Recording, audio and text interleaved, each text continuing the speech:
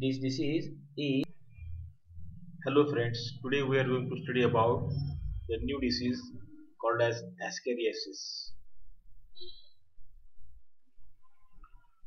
Now, what is the ascariasis? Ascariasis is nothing but it is an infection, infectious disease that is caused by a roundworm. The name of that roundworm is called as Ascaris lumbricoides. So remember well this Ascaris lumbricoides that causes the disease called as ascariasis. So this disease is to the human intestinal tract. This disease is present or this disease is affecting to the human intestinal tract that is called as ascariasis. Now the ascariasis lumbricoides is a type of endoparasite. We know that endoparasites and the endoparasites that is the roundworm or that is also called as nematode. That is also called as the nematode.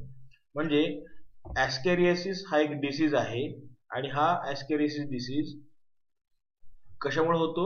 तर ऍस्केरिस ल्युब्रिकॉइडिस या ऑर्गॅनिझममुळे होतो. ऑस्केरिस lumbricoides हा human intestinal ट्रॅकला affect करतो.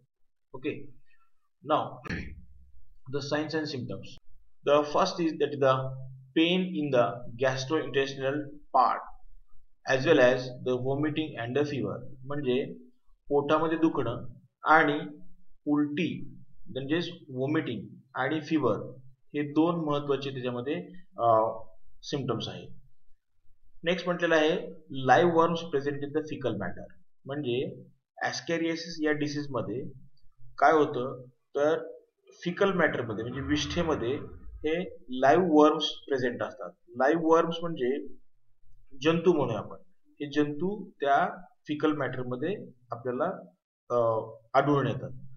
Next म्हटलेलं आहे pulmonary disorder pulmonary disorder म्हणजे lungs related disorder that is disorder in the lungs म्हणजेच काय होतं? या डिसीजमध्ये हे जे जंतू आहेत हे बॉडीमध्ये वेगळ्या वेगळ्या ऑर्गनमध्ये जातात.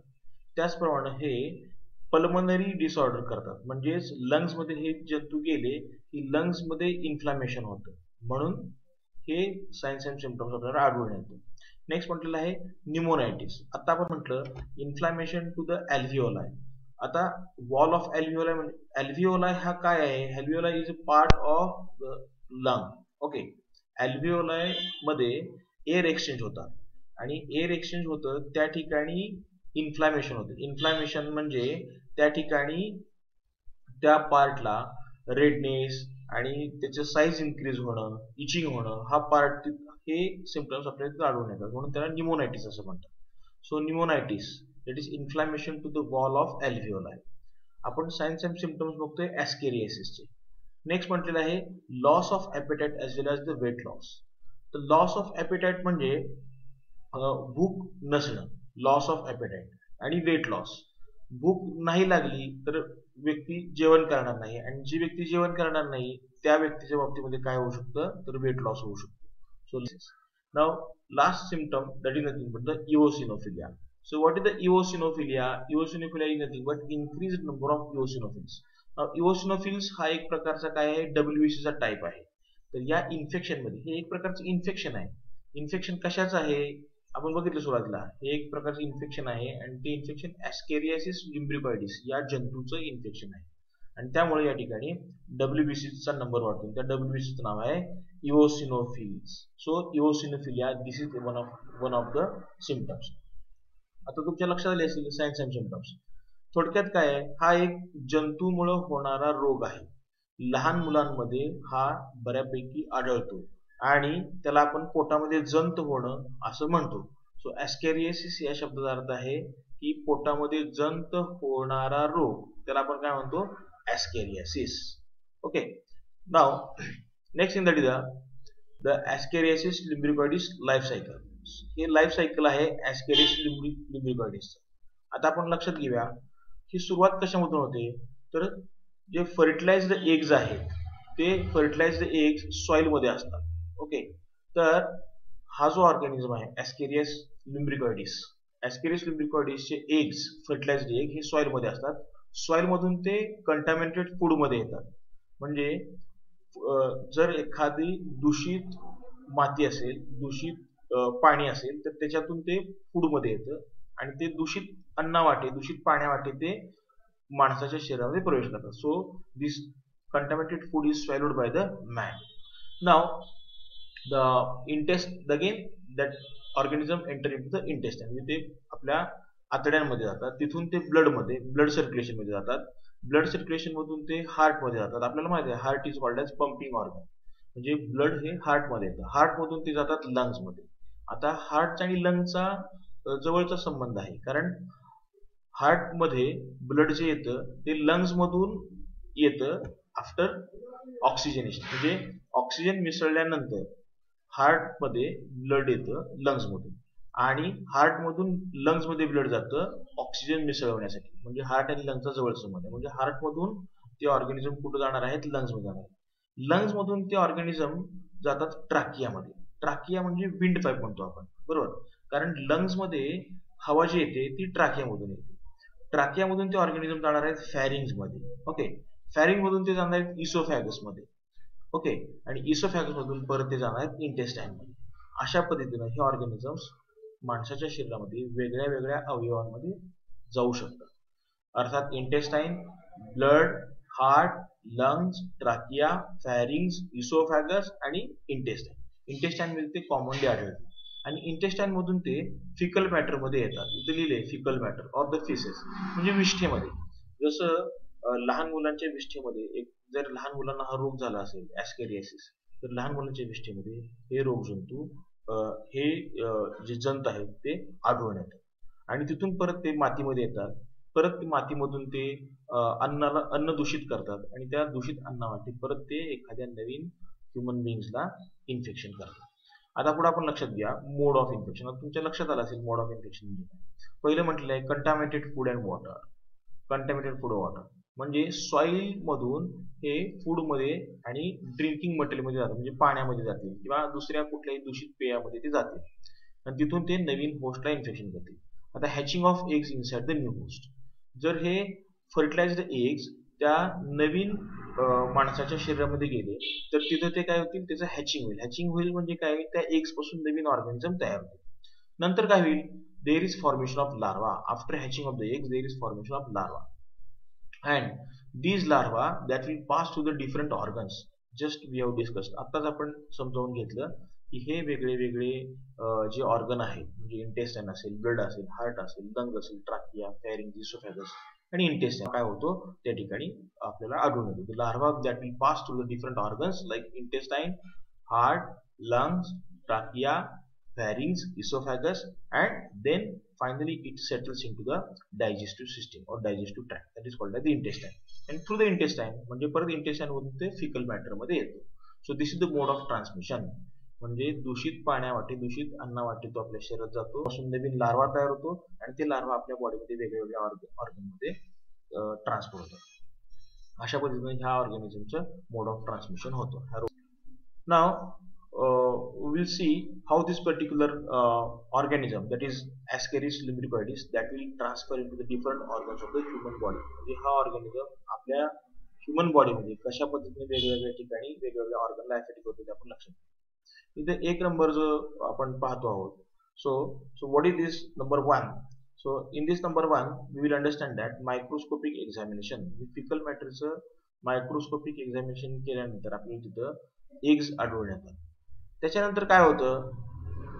Here in number two unfertilized eggs त्याच्यामध्ये आपल्याला अनफर्टिलाइज्ड एग्स आढळून येतात. अनफर्टिलाइज्ड एग्स त्याच्यानंतर फर्टिलाइज्ड एग्स पण आपल्याला तिथं आढळून येतात. म्हणजे मायक्रोस्कोपिक एक्झामिनेशनमध्ये. त्याच्यानंतर हे फर्टिलाइज्ड एग्स सॉइलमध्ये जातात. सॉइलमध्ये गेल्यानंतर and this embryonated eggs that is the that is with the larval stage number three that enter into the mouth. That is through the contaminated water or through the contaminated soil. That will enter into the human body. ज्यावेळेला ते human बॉडीमध्ये enter करतात त्यावेळेला ते इथं स्टमकमध्ये येतील. Stomach मधून ते इंटेस्टाईन मध्ये जातील. तर पाच नंबर लिहिलेला आहे number five that is hatched larvae enter and circulation and migrate to the lungs जे ते इंटेस्टाईन मध्ये येतील इंटेस्टाईन मधून through the blood that will enter into the lungs इथं दाखवलेलं आहे लंग्समध्ये ते ऑर्गॅनिझम एंटर होतात आणि लंग्स मधून ते कुठे येतील?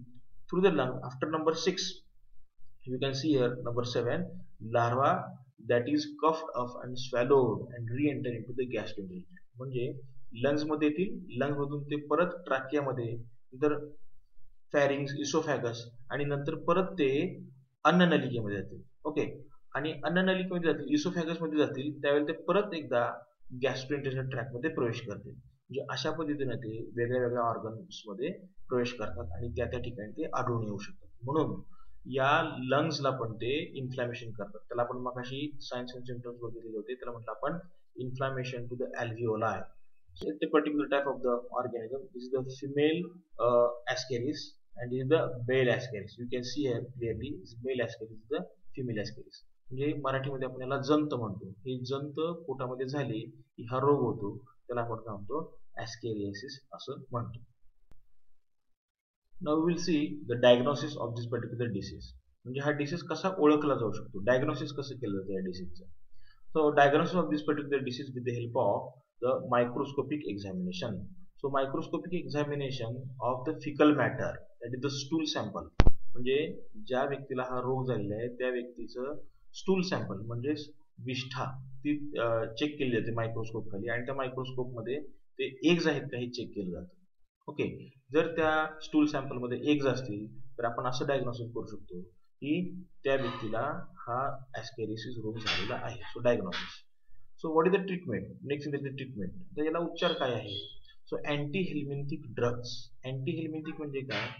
तर या रोग हे जे जंत आहे या जंतांच्या विरुद्ध काम करणारे काही केमिकल म्हणजेच आपण औषधांची नाव लक्षात घेऊ so anti helminthic drugs piperazine then the mebendazole levamisole pyran pyrantel these are the effective drugs so these are the four different drugs against drugs against Ascaris lumbricoides म्हणजे ॲस्केरिस lumbricoides जर औषध काय असेल तर हे चार वेगवेगळे ड्रग्स नॉर्मली जनरली वापरले जातात. नेक्स्ट म्हटलेलं आहे प्रिव्हेन्शन अँड कंट्रोल तर प्रिव्हेन्शन अँड कंट्रोलमध्ये काय? हा रोग होऊच नाही म्हणून काय काळजी घेतली जाऊ शकते? तर सगळ्यात महत्वाचं आहे avoid the defecation on the open space for prevention of the spread of the ascaris. म्हणजे उघड्या जागेंवरती शौचाला जाणं टाळलं पाहिजे. उघड्या जागेवर शौचाला गेल्यामुळे काय होईल? तर तिथलं जमीन किंवा तिथलं पाणी हे दूषित होईल. आणि दूषित पाण्यातून दूषित जमीन म्हणजे सॉइल मधून ते रोगजंतू हे अन्नामध्ये किंवा पाण्यामध्ये तिथून ते रोगजंतू नवीन व्यक्तीच्या शरीरामध्ये प्रवेश करतील तिथून त्या रोगाचा प्रसार होऊ शकतो. म्हणून जर आपल्याला हा रोगाचा प्रसार थांबवायचा असेल तर उघड्या जागेवर शौचाला जाणं बंद केलं पाहिजे. ते अवॉइड केलं पाहिजे.